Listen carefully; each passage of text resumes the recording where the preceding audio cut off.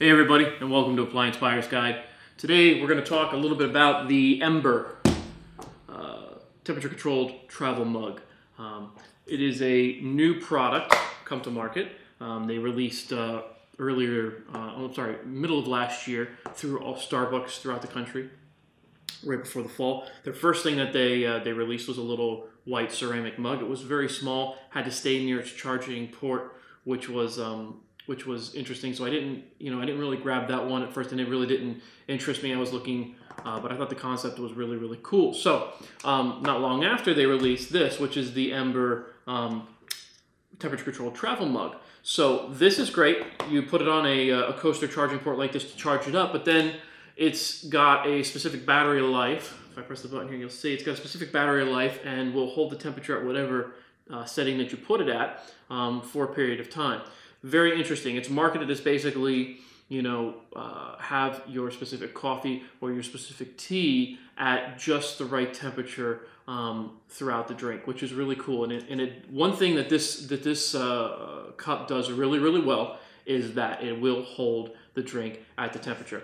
Um, but there are a couple issues with it, like anything else. Um, so I've been testing this this unit now for two weeks, and uh, you know I purchased it on Amazon. $150 is what it's running right now on Amazon. And um, when, when I got it, it's packaged beautifully. It looks like it was designed by Apple. The actual um, way that it functions is extremely elegant. Um, to actually activate the unit, you just touch the icon there and you see the menu lights up. Your controls are actually from a, uh, a bottom, you know, your, the, bottom of this unit actually uh, moves and that's how you manipulate your, your temperature control and your menu items. It does sync with a iPhone app, so there is a specific app on my iPhone. I'll pull my iPhone over here and just show you. The app looks like this, and it really just shows you, hey, this is what temperature your coffee's at. I can adjust it, I can kick it up a notch or down a notch, and it will set it with the coffee cup, but that's really it couple of issues that I found with it and the reasons why we gave it the review that we get, did on our website is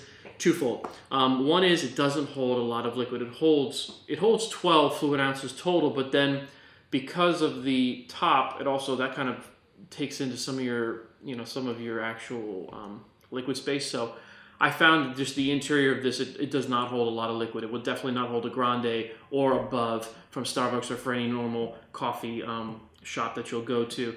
Um, it will only hold a tall, if that. Um, couple things, you know, another thing about it that's a little bit annoying is the battery life on it is a lot shorter than I was anticipating. You would think, you know, 150 bucks, you would think this thing should, you know, hold temperature and be able to hold it for at least a good portion of a workday.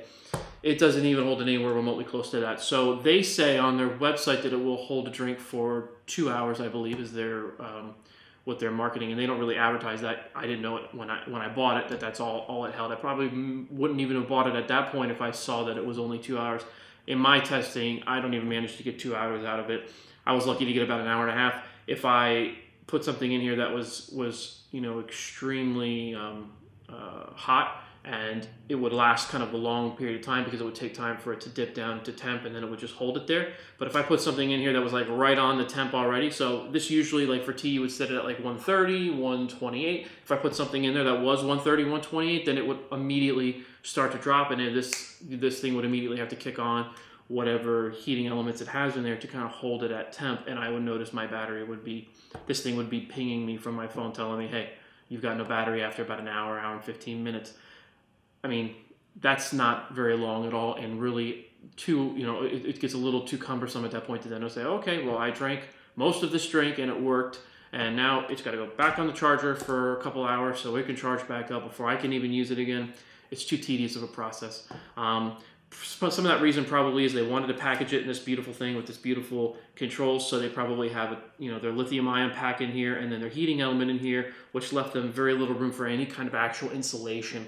So one thing you'll notice is when the battery goes out on this Ember, the temperature drops like a stone. It drops really, really quickly. Whereas like on your a normal thermos type, um, you know, travel mug, it's going to hold temp for at least an hour, two hours before you're really going to notice the temperatures drop 10 degrees. On this, within literally five to 10 minutes, your drink has gone way down from where it was and getting bordering on cold.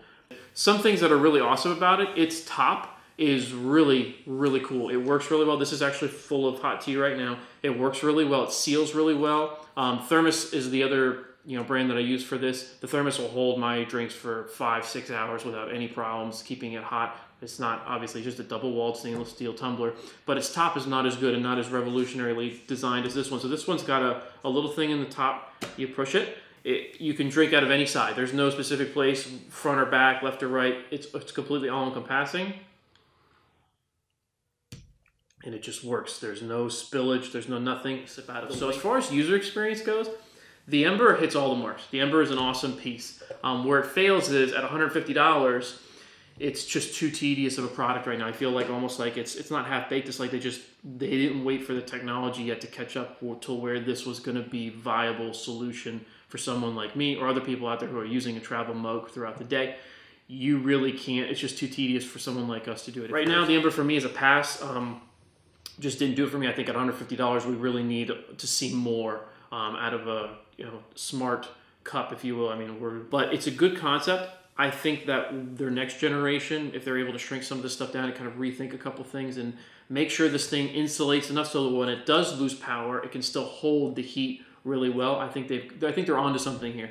But for right now, for me, um, this is a pass at $150. So um, that's our uh, our quick breakdown on the Ember. Um, hope you enjoyed it.